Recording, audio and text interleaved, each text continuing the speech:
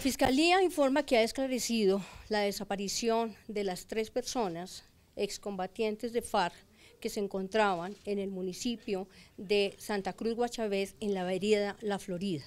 Estas personas corresponden a los nombres de William Rivera, conocido como Milton, eh, conocido como Emilio, como Emilio Sucre, Johan Silva Paz, conocido como Milton García, y José Luis Cortés Cabezas, conocido como Anderson Guerrero, quienes fueron sacados de la propiedad de William, principalmente de uno de los eh, billares que él tenía en esta vereda de la Florida, y posteriormente fueron llevados a la finca de William, que queda muy cerca de, eh, o en la zona urbana, la zona rural del municipio de, Santa Cruz de Guachavés.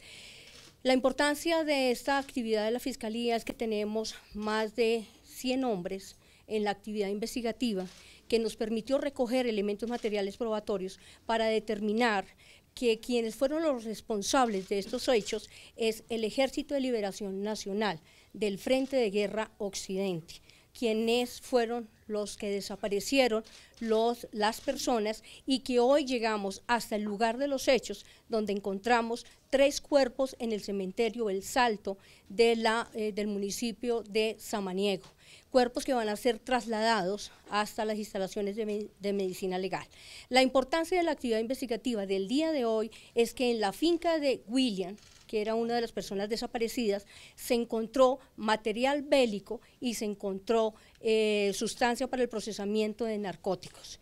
Eso debido a que una vez ellos desaparecen, miembros del Ejército de Liberación Nacional desplazan a su familia y ocupan tanto el billar como la finca. Hoy finca en la que se encontraron material bélico que muy seguramente sea de propiedad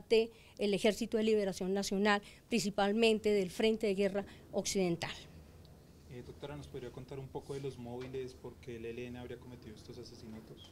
De acuerdo a la información recaudada hasta el día de hoy, al parecer William junto con las otras dos personas estaban dedicados a la elaboración de sustancia estupefaciente, la cual, de acuerdo a, los, eh, a la verificación en, el terreno, fue uno de los motivos que generó la discordia entre eh, el grupo eh, de la, de la, del ELN y los miembros, exmiembros de la FARC.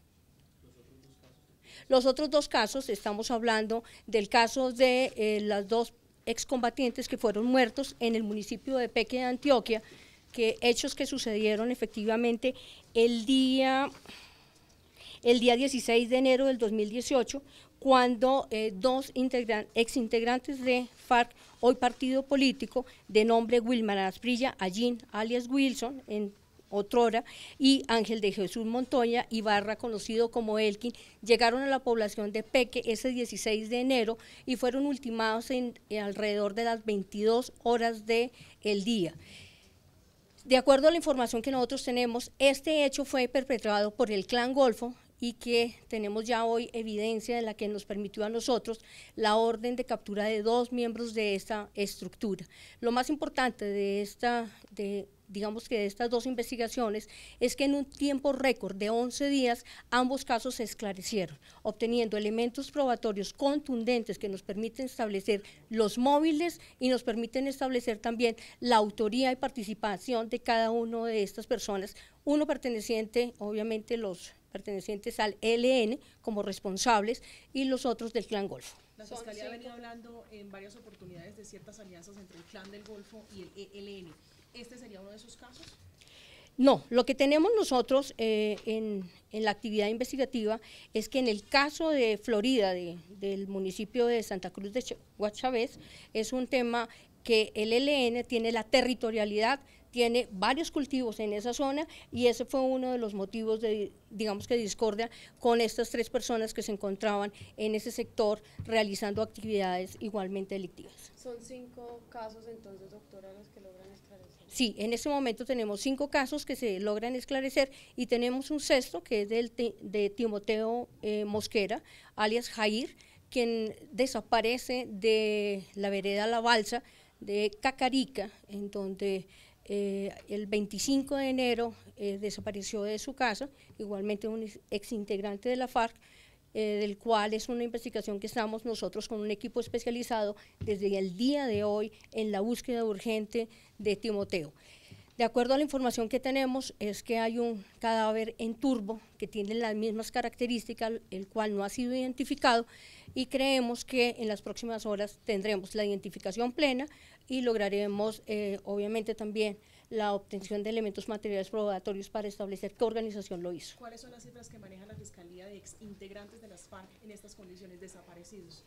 En este momento tenemos exclusivamente, en este caso, los tres desaparecidos de, de, de la vereda Florida y, lo, y el desaparecido de la vereda La Balsa de, en Cacarica. Los otros dos son ya eh, fueron hallados muertos y su identificación quedó plena. Doctora, ¿estos casos guardan alguna relación o serían casos aislados?